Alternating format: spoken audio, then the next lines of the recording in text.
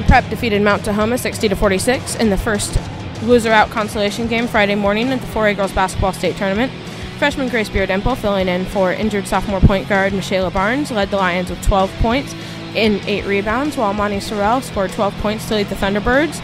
Bellarmine Prep advances to the fifth and eighth place trophy game Saturday morning, where they will win their first girls basketball state trophy since 1998.